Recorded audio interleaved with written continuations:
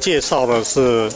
那个正港的呃台湾黄牛哈。那这个台湾的黄牛是在民国七十六年，呃，因为台湾的黄牛最早的时候是拿来耕田用哈。那因为农业机械的发达以后呢，那个耕田的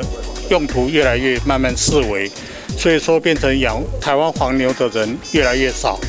那我们也担心它哪一天会从台湾消失哈，所以在民国七十六年的时候呢，就开始从台湾的全岛的各地去收集有台湾黄牛的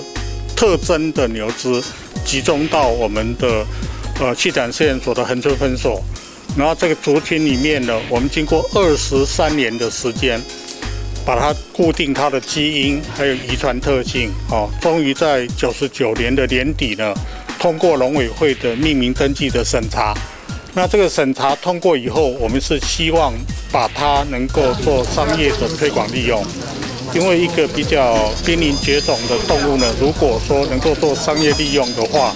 那么我们就不担心它会慢慢慢慢减少，哈。那其实台湾黄牛有很多它的优点，例如说台湾天气很热，它对那个耐热的特性很好。另外它那个很耐粗食，也就是说它的饲料呢，呃，不要吃的很精致，它所以因此呢，它的那个饲养成本会降低哦。还有一个特点是台湾黄牛呢，它抗病力很强，尤其是养牛哦，怕一种外寄生虫叫牛鼻虱。它能够抵抗那个牛鼻虱哈，所以这个是它的特点。而牛台湾黄牛的牛肉呢，等一下大家可以看影片哦，那个都是一些素人，我没有特别去那个安排他们拍摄，但是他们吃了台湾黄牛肉以后的感觉哈，简单的讲就是它鲜嫩多汁哦，它的那个有那个甜美的味道，并且它有那个香味。啊，台湾黄牛呢，另外有一个健康的取向的特色，就是说它的不饱和脂肪酸含量比较高哈。通常我们在比较的时候，就是说不饱和脂肪酸跟饱和脂肪酸的比较呢，一般的牛大概是百分之零点九点二，但是台湾黄牛会高达一点五哦，表示它不饱和脂肪酸的含量比较高，另外它胆固醇低哦，这符合健康的取向。还有很重要的一点，虽然体型很小哦，但是它的筋肉率很高，筋肉率也就是瘦肉率了哈，瘦肉率高高达了百分之这个六十三到七十三哦，一般的能够达到百分之六十就算很不错的哈，那当然屠宰率也不错，所以我们是希望把这样一个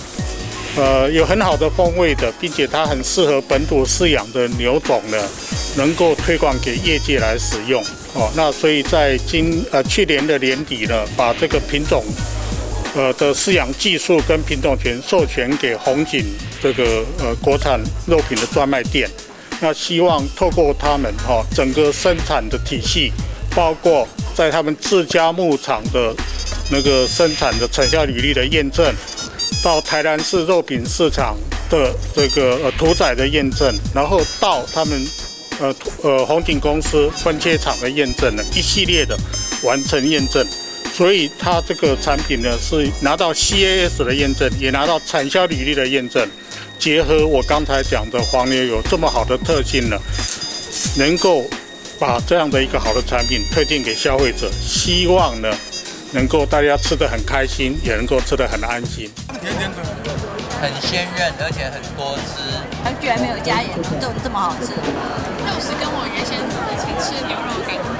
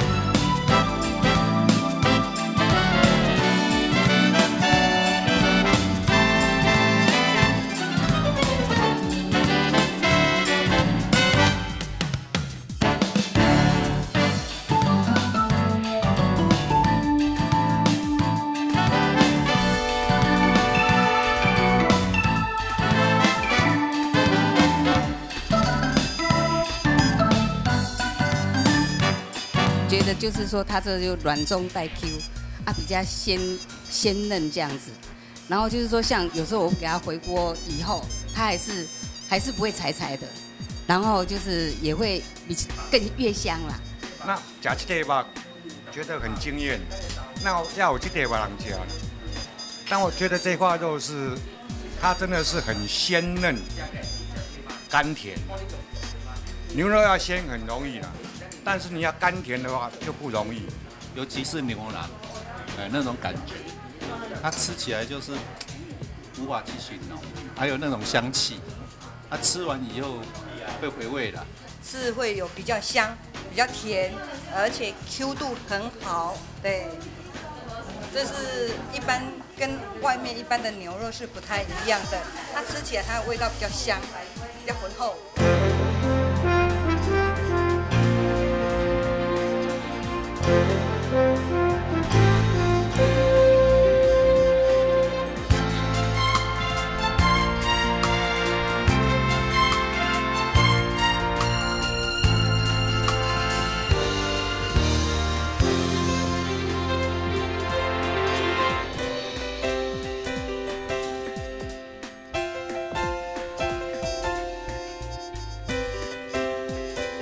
当初只是很单纯的想要做一碗很好的牛肉汤，哦，那我也试过了很多很多国外的品种的牛肉，那听很多老饕讲，还是很难忘怀这个这个台湾黄牛的滋味。这个黄牛它本身就是有那种让人家难以忘怀，我们过去小时候哦在在外面吃的牛肉汤的这种味道，是是非常难再找回来的。那黄牛品种上。本身上会有一个这样的香气，比较特别的香气。黄牛肉上面的话，它是比较浓郁的香气，有特殊的香气。那你像美国牛这部分的话，闻起来哈，可能要很近的去闻，